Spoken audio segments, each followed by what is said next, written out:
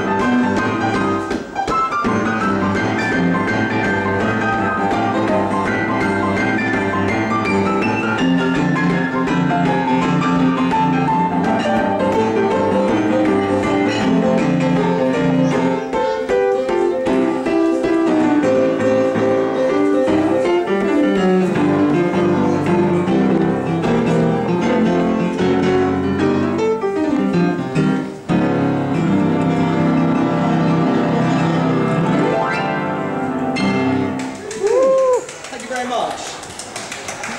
So hot sunshine boogie in London. Alright.